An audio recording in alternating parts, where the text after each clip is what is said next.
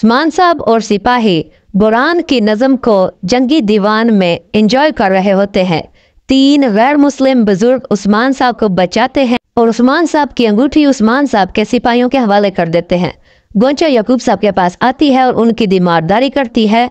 जंगी पस मंज़र में उस्मान साहब और कुस्तुनतीन के सिपाहियों के दरमियान एक लड़ाई दिखाई जाती है।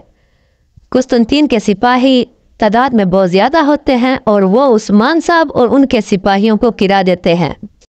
लेकिन दिफाई हमत अमली के तहत उस्मान साहब और सिपाही वहाँ से निकल जाते हैं।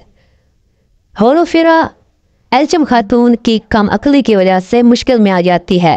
उस्मान साहब को ट्रैप करके कुस्तुनतीन घेर लेता है और तीर अंदाजों की मदद से जख्मी कर देता है। लेकिन उस्मान साहब चोटी से छलांग लगा देते हैं एक नदी के अंदर।